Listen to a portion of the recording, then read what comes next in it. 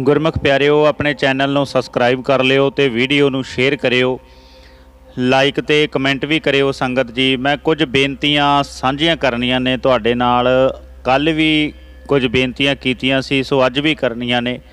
ਸੋ ਬੇਅੰਤ ਕੌਰ ਦਾ ਜੋ ਕੇਸ ਹੈ, ਜਿਹਦੇ ਵਿੱਚ ਇੱਕ ਨੌਜਵਾਨ ਖੁਦਕੁਸ਼ੀ ਕਰ ਗਿਆ ਸੀ, ਆਪਣੀ ਜੀਵਨ ਲੀਲਾ ਸਮਾਪਤ ਕਰ ਗਿਆ ਸੀ, ਉਹਦੇ ਬਾਬਤ ਕੁਝ ਬੇਨਤੀਆਂ ਨੇ। ਸਾਰੇ ਜਣੇ ਫਤਿਹ ਬੁਲਾਓ, ਆਖੋ ਆਰੰਭਤਾ ਕਰੀਏ ਜੀ, ਵਾ- ਵਾਹਿਗੁਰੂ ਜੀ ਕਾ ਖਾਲਸਾ, ਵਾਹਿਗੁਰੂ ਜੀ ਕੀ ਫਤਿਹ। ਪਿਆਰਿਓ, ਬੇਅੰਤ ਕੌਰ ਜਿਹੜੀ ਹੈ, ਉਹ ਬੱਚੀ, ਉਹ ਲੜਕੀ ਜਿਨੇ ਵਿਆਹ ਕਰਵਾਇਆ ਸੀ, ਖੁੱਡੀ ਕਲਾਂ ਦਾ ਇੱਕ ਨੌਜਵਾਨ ਸੀ ਤੇ ਉਹਨਾਂ ਦੋਨਾਂ ਦਾ ਵਿਆਹ ਹੋਇਆ ਸੀ ਪਿਛਲੇ ਸਾਲ 2019 ਦੇ ਵਿੱਚ ਸ਼ਾਇਦ ਜਾਂ 20 ਦੇ ਵਿੱਚ ਉਹਨਾਂ ਦਾ ਵਿਆਹ ਹੁੰਦਾ ਹੈ। ਤੇ ਉਹ ਲੜਕੀ ਬਾਹਰ ਚਲੀ ਜਾਂਦੀ ਹੈ ਤੇ ਸਾਰਾ ਪੈਸਾ ਮੁੰਡੇ ਵਾਲੇ ਲਾ ਕੇ ਉਸ ਲੜਕੀ ਨੂੰ ਬਾਹਰ ਘੱਲ ਦਿੰਦੇ ਨੇ ਤੇ ਬਾਹਰ ਜਾ ਕੇ ਲੜਕੀ ਆਪਣਾ ਈਮਾਨ ਬਦਲ ਲੈਂਦੀ ਹੈ। ਤੇ ਉਹ ਆਪਣੇ ਘਰ ਵਾਲੇ ਦੇ ਨਾਲ ਗੱਲ ਵੀ ਨਹੀਂ ਕਰਦੀ, ਆਪਣੇ ਘਰ ਵਾਲੇ ਦਾ ਫੋਨ ਚੱਕਣਾ ਬੰਦ ਕਰ ਦਿੰਦੀ ਹੈ। ਉਹ ਮਤਲਬ ਕਿ ਇੱਕ ਪਾਸਾ ਵਟਣ ਦੀ ਤਿਆਰੀ ਕਰ ਲੈਂਦੀ ਹੈ ਵੀ ਮੈਂ ਤੇ ਹੁਣ ਤੁਹਾਡੀ ਹੈ ਨਹੀਂ, ਕਿਉਂਕਿ ਮੈਂ ਆਓ ਕਹਿੰਦੇ ਨਾ ਵੀ ਸਿਆਣੇ ਕਹਿੰਦੇ ਨੇ ਵੀ ਮੀਆਂ ਸਾਡਾ ਘਰ ਨਹੀਂ, ਸਾਨੂੰ ਕਿਸੇ ਦਾ ਡਰ ਨਹੀਂ, ਉਹੀ ਗੱਲ ਜਿਹੜੀ ਹੈ ਉਹ ਸੱਚ ਹੋ ਗਈ।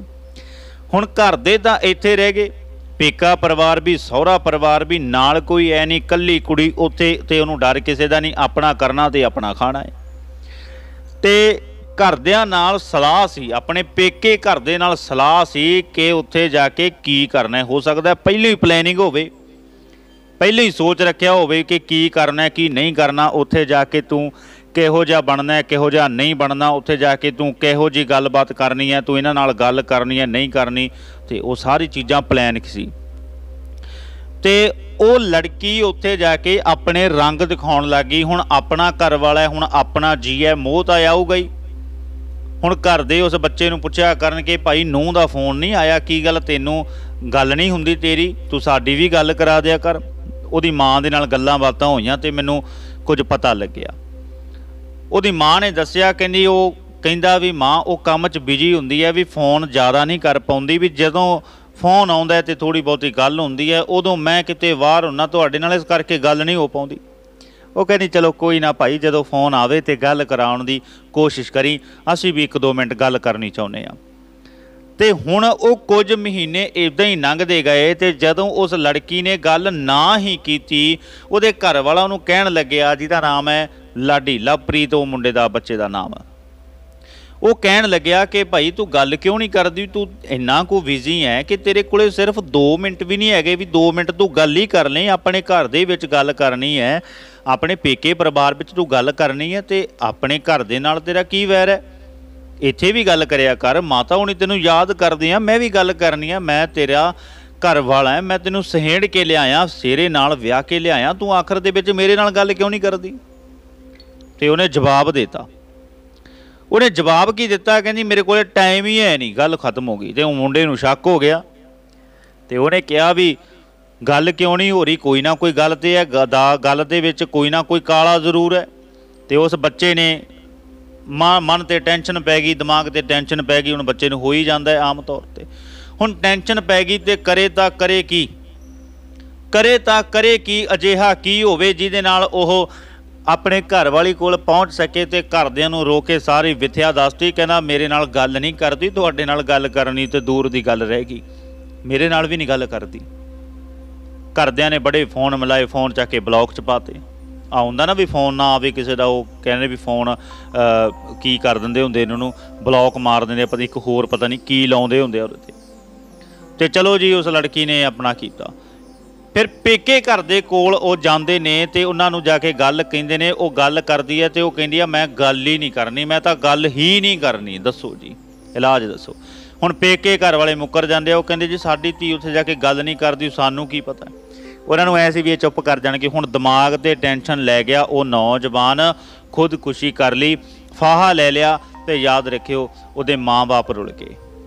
ਪੈਸਾ ਲਾਇਆ 18 19 ਲੱਖ ਰੁਪਇਆ ਉਹ ਸਾਰਾ ਡੁੱਬ ਗਿਆ ਕਿਉਂਕਿ ਲੜਕੀ ਮੁੱਕਰ ਗਈ ਜੇ ਤੇ ਪੈਸਾ ਵਾਪਸ ਆ ਜਾਂਦਾ ਤਾਂ ਵੀ ਗੱਲ ਕੁਝ ਹੋਰ ਸੀ ਵੀ ਚੱਲ ਮੁੰਡਾ ਕਿਤੇ ਹੋਰ ਵਿਆਹ ਲਿਆਂਗੇ। ਪਰ ਉਸ ਲੜਕੀ ਨੇ ਨਾ ਪੈਸਾ ਦਿੱਤਾ, ਸਗੋਂ ਉਹਨਾਂ ਦਾ ਪੁੱਤ ਵੀ ਖੋ ਲਿਆ ਉਹਦੇ ਵਿਜੋਗ ਵਿੱਚ ਮਰ ਗਿਆ। ਤੇ ਅੱਜ ਤੱਕ ਉਹ ਕੇਸ ਚੱਲਦਾ ਆ। ਅੱਜ ਤੱਕ ਉਹ ਕੇਸ ਲਮਕ ਰਿਹਾ ਇਸੇ ਤਰ੍ਹਾਂ। ਤੇ ਇੱਕ ਨਵੀਂ ਅਪਡੇਟ ਦੇ ਹਿਸਾਬ ਦੇ ਨਾਲ ਜਿਵੇਂ ਕਿ ਹੁਣ ਕੱਲ ਖਬਰ ਮਿਲੀ ਹੈ, ਬੜੀ ਖੁਸ਼ੀ ਹੋਈ ਕਿ ਸ਼ਾਇਦ ਪੰਜਾਬ ਪੁਲਿਸ ਕੋਈ ਵਧੀਆ ਕੰਮ ਕਰ ਰਹੀ ਹੈ ਤੇ ਪੁਲਿਸ ਵਾਲਿਆਂ ਨੇ ਬੇਅੰਤ ਕੌਰ ਦੀ ਜਿਹੜੀ ਮਾਂ ਹੈ, ਉਹ ਲੜਕੀ ਦੀ, ਉਹ ਆਪ ਤਾਂ ਕੈਨੇਡਾ ਦੇ ਵਿੱਚ ਬੈਠੀ ਹੋਈ ਹੈ ਤੇ ਉਹਦੀ ਮਾਂ ਨੂੰ ਗ੍ਰਿਫਤਾਰ ਕਰ ਲਿਆ ਪੁੱਛਗਿੱਛ ਦੇ ਲਈ। ਕਿਉਂਕਿ ਮਾਂ ਦੀ ਸਹਿਮਤੀ ਹੋ ਸਕਦੀ ਹੈ ਨਾਲ, ਪਰਿਵਾਰ ਦੀ ਸਹਿਮਤੀ ਹੋ ਸਕਦੀ ਹੈ ਨਾਲ ਤੇ ਉਹਦੀ ਮਾਂ ਤੋਂ ਪੁੱਛਗਿੱਛ ਕੀਤੀ ਜਾ ਰਹੀ ਹੈ। ਹੁਣ ਉਸ ਲੜਕੀ ਨੂੰ ਹੱਥਾਂ ਪੈਰਾਂ ਦੀ ਪੈ ਗਈ, ਹੁਣ ਉਹ ਵਾਪਸ ਆਉਣ ਲਈ ਤਿਆਰ ਹੈ ਵੀ ਮੈਂ ਵਾਪਸ ਆ ਜਾਊਂਗੀ। ਵਾਪਸ ਆ ਕੇ ਇੱਥੇ ਗੱਲ ਕਰੂੰਗੀ, ਇੱਥੇ ਆ ਕੇ ਬੈਠੂੰਗੀ, ਇੱਥੇ ਆ ਕੇ ਗੱਲਾਂ ਕਰੂੰਗੀ, ਸ਼ਾਇਦ ਮੇਰੀ ਮਾਂ ਬਚ ਜੇ। ਪਰ ਆਖਰ ਦੇ ਵਿੱਚ ਜੇ ਵਿੱਚ ਰਲੀ ਭੁਗਤ ਹੈ ਨਾ, ਫਿਰ ਬਚਣਾ ਬਹੁਤ ਮੁਸ਼ਕਲ ਹੈ। ਉਹਨਾਂ ਤੇ ਧੋਖਾ ਧੜੀ ਦਾ ਕੇਸ ਤਾਂ ਦਰਜ ਹੋਊਗਾ ਹੀ ਹੋਊਗਾ ਤੇ ਨਾਲ ਦੀ ਨਾਲ ਉਹਨਾਂ ਲੋਕਾਂ ਦੇ ਉੱਪਰ ਇੱਕ ਅਜਿਹਾ ਕੇਸ ਵੀ ਦਰਜ ਹੋਊਗਾ ਮਰਡਰ ਦਾ। ਇਹ ਇਹ ਯਾਦ ਰੱਖਿਓ। ਇਸ ਕਰਕੇ ਮੈਂ ਬੇਨਤੀ ਕਰਦਾ ਕਿ ਜੋ ਵੀ ਅਜਿਹਾ ਕਰਨਾ ਚਾਹੁੰਦੇ ਨੇ ਜਾਂ ਕਰ ਰਹੇ ਨੇ, ਨਾ ਕਰੋ। ਸਾਡੇ ਇੱਕ ਗਲਤ ਪੁੱਟੇ ਹੋਏ ਸਟੈਪ ਦੇ ਨਾਲ ਕਿਸੇ ਦਾ ਪੁੱਤ ਕਿਸੇ ਦੀ ਧੀ ਮਰ ਜਾਂਦੀ ਹੈ ਤੇ ਅਸੀਂ ਆਪਣੀ ਜ਼ਿੰਦਗੀ ਦੇ ਵਿੱਚ ਸਦਾ ਲਈ ਪਛਤਾਵਾ ਖੱਟ ਲਵਾਂਗੇ। ਇਹ ਗੱਲ ਯਾਦ ਰੱਖਿਓ, ਸੁਖੀ ਤਾਂ ਅਸੀਂ ਵੀ ਨਹੀਂ ਬਸ ਪਾਵਾਂਗੇ। ਅਸੀਂ ਵੀ ਸੁਖੀ ਨਹੀਂ ਬਸ ਪਾਵਾਂਗੇ।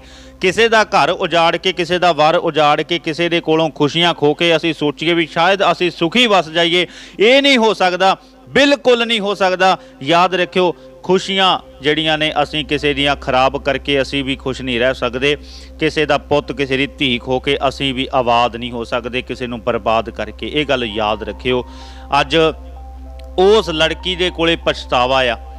ਸ਼ਾਇਦ ਉਹ ਨਾ ਗਲਤ ਕਦਮ ਚੁੱਕਦੀ ਜਾਂ ਪੈਸੇ ਹੀ ਵਾਪਸ ਕਰ ਦਿੰਦੀ ਜੇ ਸ਼ਾਇਦ ਇਹ ਕੰਮ ਉਹ ਲੜਕਾ ਨਾ ਕਰਦਾ ਤੇ ਅੱਜ ਉਹਦੇ ਕੋਲੇ ਪਛਤਾਵਾ ਤੇ ਜਿਹੜੇ ਘਰਦਿਆਂ ਲਈ ਕੀਤਾ ਜਾਂ ਆਪਣੇ ਲਈ ਕੀਤਾ, ਹੁਣ ਉਹ ਪਛਤਾਵਾ ਲੈ ਕੇ ਜਿਉਏਗੀ ਜੇ ਉਹਨੇ ਜੇ ਉਹਨੇ 50 ਸਾਲ ਜਿਉਣਾ ਸੀ ਤਾਂ ਉਹ ਹੁਣ 25 ਕੁ ਸਾਲ ਹੀ ਜਿਉਏਗੀ ਪਛਤਾਵਾ ਮਨ ਵਿੱਚ ਪੈ ਗਿਆ ਵੀ ਸ਼ਾਇਦ ਮੇਰੇ ਤੋਂ ਗਲਤ ਕੰਮ ਹੋ ਗਿਆ। ਪਰਮਾਤਮਾ ਤੇ ਵੇਖਦਾ ਨਾ, ਪਰਮਾਤਮਾ ਵੀ ਸਜ਼ਾ ਦੇਊਗਾ।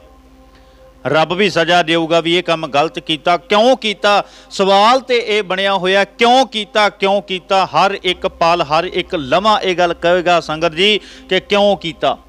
ਪਛਤਾਵਾ ਬਹੁਤ ਵੱਡੀ ਚੀਜ਼ ਹੁੰਦਾ ਜੇ ਬੰਦਾ ਕਰਨਾ ਚਾਵੇ, ਪਛਤਾਵਾ ਹੁੰਦਾ ਪਛਤਾਵੇ ਦੇ ਨਾਲ ਕਹਿੰਦੇ ਨੇ, ਵੱਡੇ ਵੱਡੇ ਬੰਦੇ ਸੁਧਰ ਜਾਂਦੇ ਨੇ, ਜੇ ਬੰਦਾ ਬਣਨਾ ਹੀ ਨਾ ਚਾਵੇ, ਕੋਈ ਪਛਤਾਵਾ ਵੀ ਉਹਦਾ ਕੁਝ ਨਹੀਂ ਕਰ ਸਕਦਾ।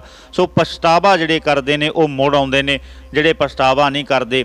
ਉਹ ਜ਼ਿੰਦਗੀ ਦੇ ਵਿੱਚ ਬਹੁਤ ਗਲਤ ਕੰਮਾਂ ਦੇ ਰਸਤੇ ਤੇ ਅੱਗੇ ਤੁਰ ਜਾਂਦੇ ਨੇ, ਫਿਰ ਉਹ ਵਾਪਸ ਮੁੜਨ ਦਾ ਰਾਹ ਵੀ ਬੰਦ ਕਰ ਲੈਂਦੇ ਨੇ। ਇਹ ਗੱਲ ਯਾਦ ਰੱਖਿਓ, ਪਛਤਾਵਾ ਵੀ ਬਹੁਤ ਵੱਡੀ ਚੀਜ਼ ਹੁੰਦਾ, ਜੇ ਬੰਦਾ ਪਛਤਾਤਾਪ ਕਰ ਲੇ ਵੀ ਮੇਰੇ ਤੋਂ ਗਲਤ ਕੰਮ ਹੋਇਆ। ਆਪਣੀ ਗਲਤੀ ਨੂੰ ਮੰਨ ਲੈਣ ਵਾਲਾ ਵੀ ਬੰਦਾ ਸਿਆਣਾ ਮੰਨ ਲਓ ਇੱਕ ਉਹ ਹੁੰਦੇ ਨੇ ਵੀ ਆਪਣੀ ਗਲਤੀ ਮੰਨਦੇ ਨਹੀਂ। ਅਜੇ ਤੱਕ ਉਸ ਲੜਕੀ ਨੇ ਆਪਣੀ ਗਲਤੀ ਨਹੀਂ ਮੰਨੀ। ਅਜੇ ਵੀ ਗਲਤੀ ਮੰਨ ਲੇ ਤੇ ਬਹੁਤ ਚੰਗਾ ਹੋਵੇਗਾ। ਚਲੋ ਜਿਹੜਾ ਪੁੱਤ ਉਹਨਾਂ ਦਾ ਗਿਆ, ਉਹ ਤੇ ਵਾਪਸ ਕਦੇ ਨਹੀਂ ਆਵੇਗਾ, ਪਰ ਮੈਂ ਬੇਨਤੀ ਕਰੂੰਗਾ, ਆਪਣੇ ਮਨ ਤੋਂ ਬੋਝ ਹਲਕਾ ਕਰ ਲੇ। ਸੱਚ ਦੱਸ ਕੇ ਕੀ ਕਾਰਨ ਸੀ, ਕਿਉਂ ਉਹਦੇ ਨਾਲ ਗੱਲ ਕਰਨੀ ਬੰਦ ਕੀਤੀ ਸੀ, ਕੀ ਉਹਨਾਂ ਦਾ ਪਲਾਨ ਪਹਿਲਾਂ ਹੀ ਚੱਲ ਰਿਹਾ ਸੀ, ਜਾਂ ਫਿਰ ਬਾਅਦ ਵਿੱਚ ਸੀ। ਅੱਜ ਆਪਣਿਆਂ ਤੇ ਗੱਲ ਆ ਗਈ, ਤਾਂ ਉਸ ਲੜਕੀ ਨੇ ਆਪਣੇ ਬਿਆਨ ਦਿੱਤੇ ਕਿ ਮੇਰੀ ਗਲਤੀ ਸੀ। ਇਹਦਾ ਨਾ ਕਰੋ, ਮੇਰੀ ਸਾਰਿਆਂ ਨੂੰ ਬੇਨਤੀ ਹੈ, ਕਿਸੇ ਦੇ ਨਾਲ ਖਿਲਵਾੜ ਨਾ ਕਰੋ। ਇੰਨੀਆਂ ਕੋ ਬੇਨਤੀਆਂ ਪ੍ਰਵਾਨ ਕਰਿਓ। ਆਖੋ ਵਾਹਿਗੁਰੂ ਜੀ ਕਾ ਖਾਲਸਾ ਵਾਹਿਗੁਰੂ ਜੀ ਕੀ ਫਤਿਹ।